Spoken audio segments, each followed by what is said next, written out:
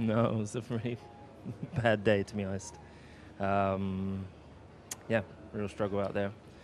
Long way off, uh, two seconds off in the first uh, session and and over a second off in the second. So um, just working away at trying to fix the car, fix the balance. Is it something that you have the tools to fix, uh, but you just don't have enough tools, or is it something that you're going to have to spend the night working out what's wrong before you can fix it?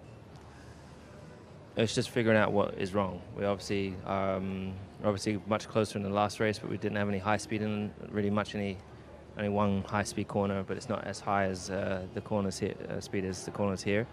So um, and our car has more often not been a little bit weaker in the high speed corners. So uh, if you look at places like um, at Silverstone, for example, Copse, that's one of our weaker corners.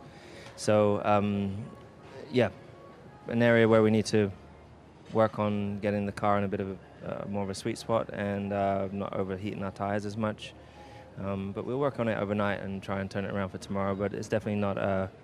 Um, we definitely won't be winning this weekend, but um, if we can move up a little, if I can particularly move up a little bit further up the order, uh, so I can at least back up. Um, you know, George did not such a bad lap. Um, yeah, but tough one.